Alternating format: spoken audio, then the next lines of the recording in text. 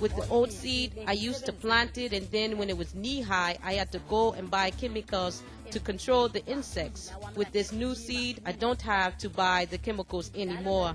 So I just plant it and leave it, and my life is now easier and better. While we only knew at first that it deterred corn borers, which is why we liked it, today no one sprays on their corn anymore. So farmers are happier now. Tienen más tiempo libre. You enjoy more free time because you don't need to be so dependent on insecticides that traditional corn requires. Before I planted YieldGard, I'd be so tired I could not even bring myself to give her a hug. Especially after spraying. Now there's no problem like that. I can even kiss her now. The production of Bollgard has allowed more life to live on our farm. We have life in our crops, we have life around the crops. The population of beneficial insects has increased considerably nowadays. We make fewer insecticide controls. There are a lot of bugs that are beneficial, that we're not killing.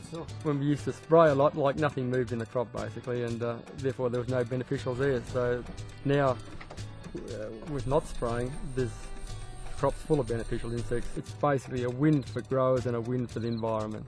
One thing that has helped by using Bollgard is that there has been a reduction in the number of times of spraying pesticides. This cotton had to be sprayed only once. Since I had to spray only once, my expenses have reduced and the bollworms that come had vanished.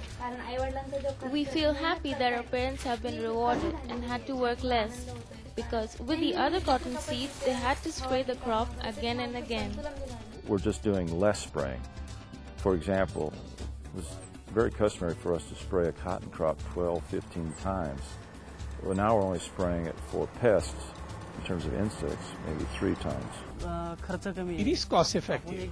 We have to spray just two, three times. But with the other seeds, the worms would attack and we have to spray at least 15, 20 times. And with this, just two, three sprays is enough.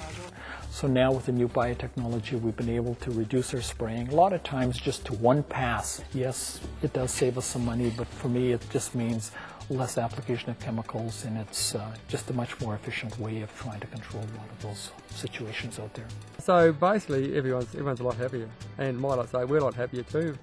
We're not spraying all the insecticides. It's a quality of life issue and it's if you choose to be in agriculture, you can choose to live without hard chemistry.